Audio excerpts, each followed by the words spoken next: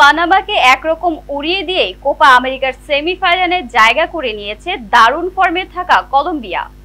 অরিজোনার university of Phoenix স্টেডিয়ামে অনুষ্ঠিত Copa আমেরিকার কোয়ার্টার ফাইনালে পানামাকে পাঁচ শূন্য গোলে হারায় কলম্বিয়া। অষ্টম মিনিটে গোল উৎসবের সূচনা করেন ইরান কর্দোবা। এরপর এরপর একে একে স্কোর বোর্ডে নাম লেখান James Rodriguez Luis Diaz, Richard de Rios ও মিগুয়েল বোরহা।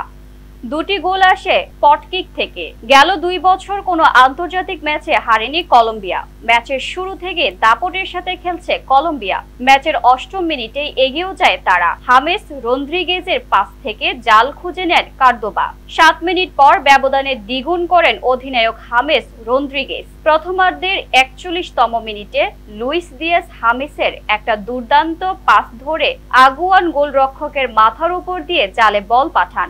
তিন গোলে এগিয়ে বিরতিতে যায় কলম্বিয়া। দ্বিতীয়ার্ধেও একই ছদ্মে খেলতে থাকে কলম্বিয়া। ম্যাচের সত্তরতম মিনিটে চতুর্থ গোলের দেখা পায় লস কাফে তোরসরা যোগ করার সময়ে চতুর্থ মিনিটে স্পট কিক থেকে পানামার কফিনের শেষ পয়েন্টের ঢুকে দেন বদলি নামা মিগুয়েল বোরহা।